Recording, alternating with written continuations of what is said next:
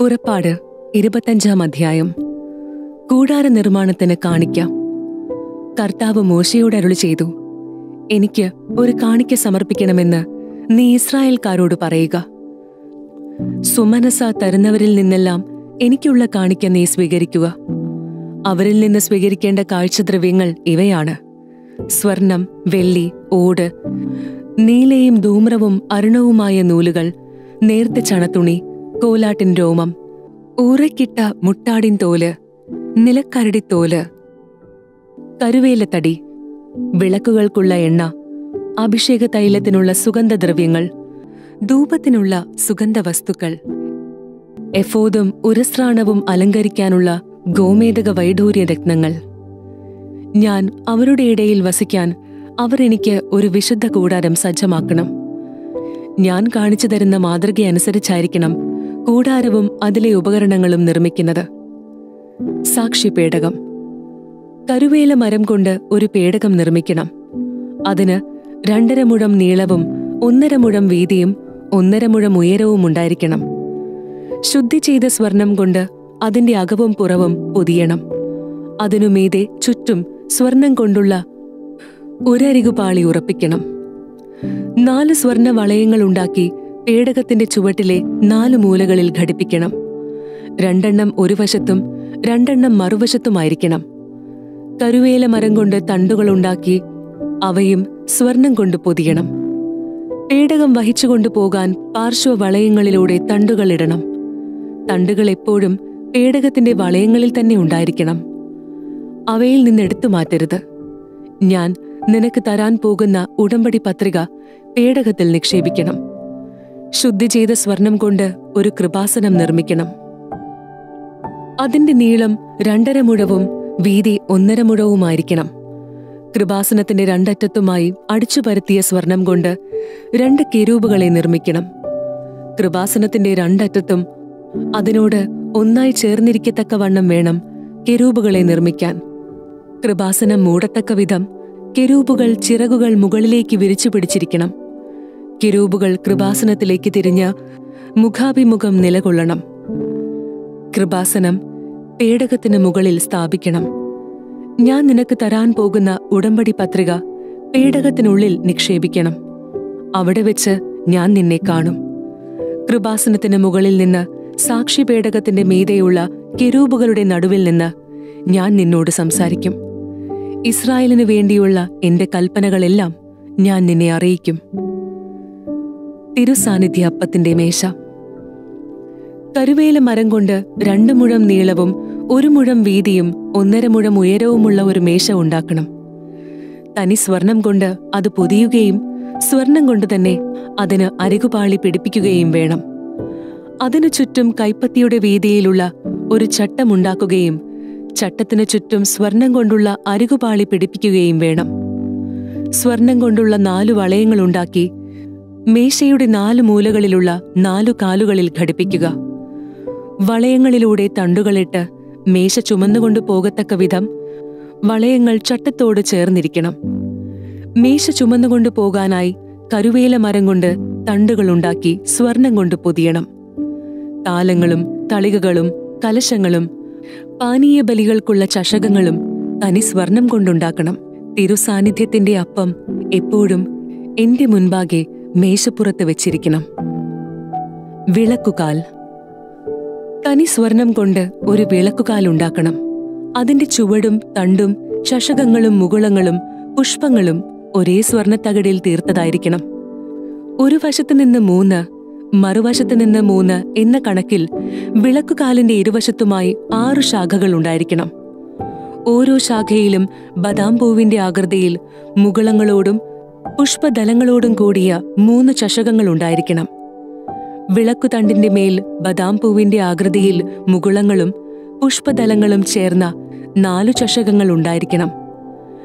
വിളക്കുകാലിൽ നിന്ന് പുറപ്പെടുന്ന ആറു ശാഖകളിൽ ഓരോ ജോഡിയുടെയും അടിയിൽ ഓരോ മുകുളം എന്ന കണക്കിൽ മൂന്ന് മുകുളങ്ങൾ ഉണ്ടായിരിക്കണം. അടിച്ചു പരത്തിയ തനി സ്വർണത്തിന്റെ ഒരേ തകിടിലായിരിക്കണം മുകുളങ്ങളും ശാഖകളുമെല്ലാം നിർമ്മിക്കുന്നത്. വിളക്കുതണ്ടിന്മേലും അതിന്റെ ശാഖകളിന്മേലും വെക്കാൻ വേണ്ടി ഏഴ് വിളക്കുകൾ ഉണ്ടാക്കണം. അവ വിളക്കുകാലിനു മുൻപിൽ പ്രകാശം വീശത്തക്ക വിധം സ്ഥാപിക്കണം. തിരി അണയ്ക്കാൻ ഉപയോഗിക്കുന്ന കത്രികകളും തട്ടങ്ങളും തനി സ്വർണം കൊണ്ടുള്ളവയായിരിക്കണം. വിളക്കുകാലും ഉപകരണങ്ങളുമെല്ലാം കൂടി ഒരു താലന്ത് തനി സ്വർണം കൊണ്ട് വേണം നിർമ്മിക്കാൻ. മലയിൽ വെച്ച് നിന്നെ ഞാൻ കാണിച്ച മാതൃകയിൽ ഇവയെല്ലാം നിർമ്മിക്കാൻ ശ്രദ്ധിക്കണം. പുറപ്പാട് ഇരുപത്തിയാറാം അധ്യായം. സാക്ഷി കൂടാരം. പത്ത് വിരികൾ കൊണ്ട് നീ വിശുദ്ധ കൂടാരം നിർമ്മിക്കണം. നീലം ധൂമ്രം കടും ചെമപ്പ് എന്നീ നിറങ്ങളോടുകൂടി നെയ്തെടുത്ത നേർത്ത ചണവസ്ത്രം കൊണ്ടായിരിക്കണം വിരികൾ. കിരൂപുകളെ കൊണ്ട് വിദഗ്ധമായി അലങ്കരിച്ചതുമായിരിക്കണം. ഒരു വിരിയുടെ നീളം ഇരുപത്തെട്ട് മുഴവും വീതി നാല് മുഴവുമായിരിക്കണം. എല്ലാ വിരികളും ഒരേ അളവിലുള്ളതായിരിക്കണം. അഞ്ചു വിരികൾ ഒന്നോടൊന്ന് ചേർത്ത് തുന്നണം. അതുപോലെ മറ്റേ അഞ്ചു വിരികളും ആദ്യഗണം വിരികളിൽ ഒടുവിലെത്തിയതിന്റെ വക്കിൽ നീലനൂൽ കൊണ്ട് വളയങ്ങൾ തുന്നിച്ചേർക്കണം. അപ്രകാരം തന്നെ രണ്ടാം ഗണം വിരികളിൽ അവസാനത്തേതിന്റെ വക്കിലും ആദ്യത്തെ വിരിയിൽ അൻപത് വളയങ്ങൾ ഉണ്ടാക്കണം. രണ്ടാം ഗണം വിരികളിൽ അവസാനത്തേതിന്റെ വക്കിലും അൻപത് വളയങ്ങൾ ഉണ്ടാക്കണം. വളയങ്ങൾ ഒന്നിനു നേരെ ഒന്ന് വരത്തക്ക വിധത്തിലായിരിക്കണം. സ്വർണം കൊണ്ട് അൻപത് കൊളുത്തുകൾ ഉണ്ടാക്കണം. ഇരുഗണം വിരികളും കൊളുത്തുകൊണ്ട് യോജിപ്പിക്കുമ്പോൾ അതൊരു കൂടാരമാകും. കൂടാരത്തിന്റെ മുകൾ ഭാഗം മൂടുന്നതിനായി ആട്ടിൻ രോമം കൊണ്ട് പതിനൊന്ന് വിരികൾ ഉണ്ടാക്കണം. ഓരോ വിരിക്കും മുപ്പത് മുഴം നീളവും നാല് മുഴം വീതിയും ഉണ്ടായിരിക്കണം. പതിനൊന്ന് വിരികളും ഒരേ അളവിലായിരിക്കണം. അഞ്ച് വിരികൾ യോജിപ്പിച്ച് ഒരു ഗണവും ആറു വിരികൾ യോജിപ്പിച്ച് വേറൊരു ഗണവും ഉണ്ടാക്കുക. ആറാമത്തെ വിരി കൂടാരത്തിന്റെ മുൻഭാഗത്ത് മടക്കിയിടുക. ഒന്നാമത്തെ ഗണം വിരികളിൽ അവസാനത്തേതിന്റെ വക്കിൽ അൻപത് വളയങ്ങളും രണ്ടാം ഗണം വിരികളിൽ അവസാനത്തേതിന്റെ വക്കിൽ അൻപത് വളയങ്ങളും തുന്നിച്ചേർക്കുക. ഓടുകൊണ്ടുള്ള അൻപത് കൊളുത്തുകൾ ഉണ്ടാക്കി അവ വളയങ്ങളിലൂടെ ഇട്ട് കൂടാരം ഒന്നായി യോജിപ്പിക്കുക.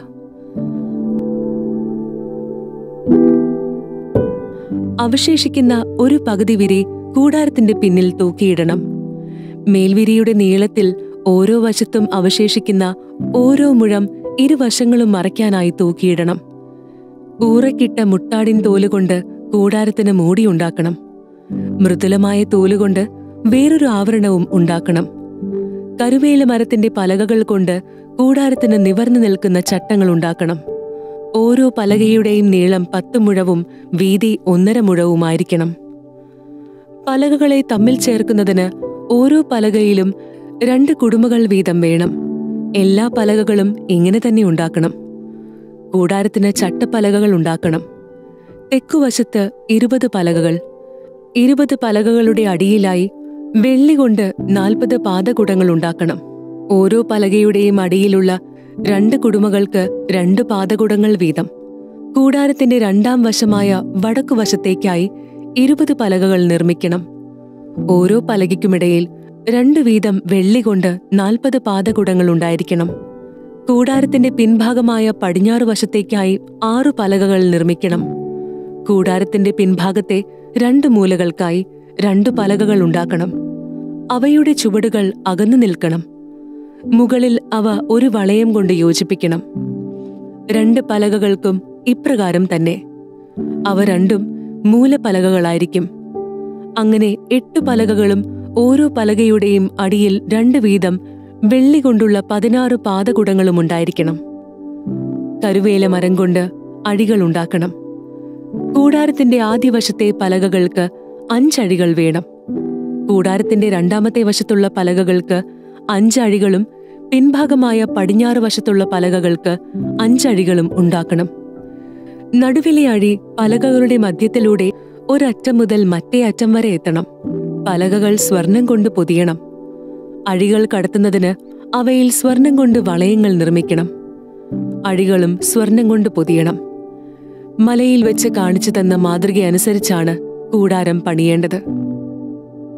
പിരിച്ച നൂൽ കൊണ്ട് നെയ്തതും നീലം ധൂമ്രം കടും ചെമ്പപ്പ് എന്നീ നിറങ്ങളുമുള്ളതുമായ നേർത്ത ചണത്തുണി കൊണ്ട് ഒരു തിരശീലയുണ്ടാക്കണം. അതിൽ കെരൂബുകളെ തുന്നിച്ചേർക്കണം. കരുവേല മരം കൊണ്ട് പണിത് സ്വർണം പൊതിഞ്ഞ നാല് തൂണുകളിൽ അത് തൂക്കിയിടണം. തൂണുകളുടെ കൊളുത്തുകൾ സ്വർണം കൊണ്ടും പാതകുടങ്ങൾ വെള്ളി കൊണ്ടും നിർമ്മിക്കണം. തിരശീല കൊളുത്തുകളിൽ തൂക്കിയിട്ടതിനു ശേഷം സാക്ഷ്യപേടകം അതിനുള്ളിലേക്ക് കൊണ്ടുവരണം. ഈ തിരശീല വിശുദ്ധ സ്ഥലത്ത് നിന്ന് ശ്രീകോവിലിനെ വേർതിരിക്കും. ശ്രീകോവിലിൽ സാക്ഷ്യപേടകത്തിന് മുകളിൽ കൃപാസനം സ്ഥാപിക്കണം. തിരശീലയ്ക്ക് വെളിയിൽ മേശയും മേശയ്ക്കെതിരെ കൂടാരത്തിന്റെ തെക്കുവശത്ത് വിളക്ക് കാലും സ്ഥാപിക്കണം. മേശ കൂടാരത്തിന്റെ വടക്കുവശത്തായിരിക്കണം. നേർമയിൽ നെയ്തതും നീലം ധൂമ്രം കടും ചെമപ്പ് എന്നീ നിറങ്ങളുള്ളതും ചിത്രത്തുന്നലാൽ അലങ്കൃതവുമായ ചണവസ്ത്രം കൊണ്ട് കൂടാരവാതിലിന് ഒരു യവനിക ഉണ്ടാക്കണം. ഈ യവനിക തൂക്കിയിടുന്നതിന് കരുവേല മരം കൊണ്ട് അഞ്ച് തൂണുകൾ ഉണ്ടാക്കണം. അവ സ്വർണത്തിൽ പൊതിയണം. അവയ്ക്ക് സ്വർണ കൊളുത്തുകളും ഓടുകൊണ്ടുള്ള അഞ്ച് പാദകുടങ്ങളും ഉണ്ടായിരിക്കണം. പുറപ്പാട് ഇരുപത്തിയേഴാം അധ്യായം. ബലിപീഠം. കരുവേല മരം കൊണ്ട് ഒരു ബലിപീഠം പണിയണം. അത് സമചതുരമായിരിക്കണം. നീളവും വീതിയും അഞ്ചു മുഴം ഉയരം മൂന്ന് മുഴം. ബലിപീഠത്തിന്റെ നാല് മൂലകളിലും അതോട് ഒന്നായി ചേർന്ന് നിൽക്കുന്ന നാല് കൊമ്പുകൾ നിർമ്മിച്ച് ഓടുകൊണ്ട് പൊതിയണം. ചാരപാത്രങ്ങൾ കോരികകൾ താലങ്ങൾ മുൾക്കരണ്ടികൾ അഗ്നികലശങ്ങൾ എന്നിങ്ങനെ ബലിപീഠത്തിങ്കൽ ആവശ്യമുള്ള ഉപകരണങ്ങളെല്ലാം ഓടുകൊണ്ട് നിർമ്മിക്കണം. ബലിപീഠത്തിന് വേണ്ടി ഓടുകൊണ്ടുള്ള അഴികൾ ഉപയോഗിച്ച് വലയുടെ രൂപത്തിൽ ഒരു ചട്ടക്കൂടുണ്ടാക്കണം അതിന്റെ നാലു മൂലയിലും ഓരോ ഓട്ടുവളയും ഘടിപ്പിക്കണം.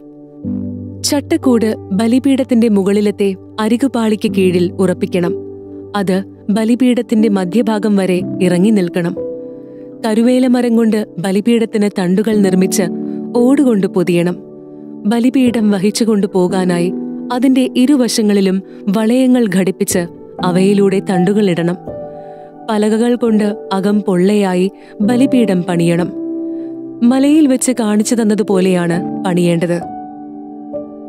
കൂടാരങ്കണം. കൂടാരത്തിന് ഒരു അങ്കണം ഉണ്ടാക്കണം.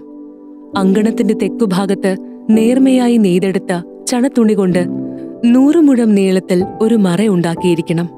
അതിന് ഇരുപത് തൂണുകൾ വേണം. തൂണുകളുടെ പാതകുടങ്ങൾ ഓടുകൊണ്ടുള്ളതായിരിക്കണം. തൂണുകൾക്ക് വെള്ളി കൊണ്ടുള്ള കൊളുത്തുകളും പട്ടകളും ഉണ്ടായിരിക്കണം.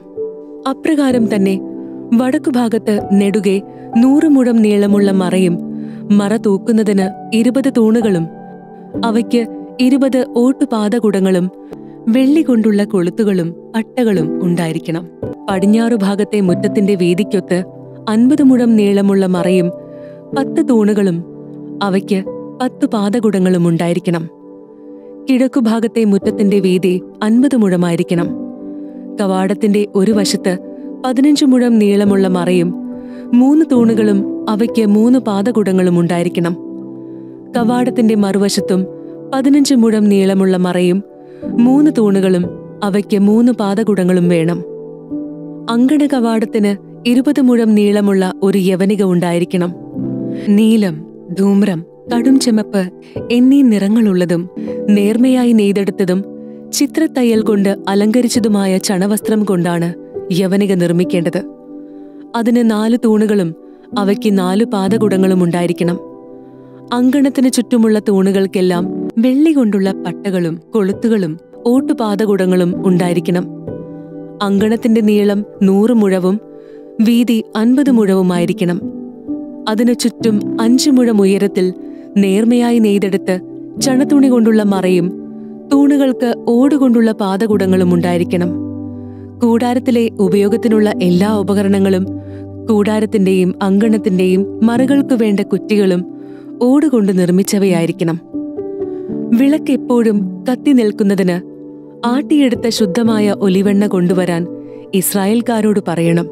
സമാഗമ കൂടാരത്തിനുള്ളിൽ സാക്ഷ്യപേടകത്തിന് മുൻപിലുള്ള തിരശീലയ്ക്ക് വെളിയിൽ വിളക്ക് സന്ധ്യ മുതൽ പ്രഭാതം വരെ കർത്താവിന്റെ മുൻപിൽ കത്തി നിൽക്കാൻ അഹ്റോനും അവന്റെ പുത്രന്മാരും ശ്രദ്ധിക്കട്ടെ. ഇസ്രായേൽക്കാർ തലമുറ തോറും അനുഷ്ഠിക്കേണ്ട ശാശ്വത നിയമമാണിത്.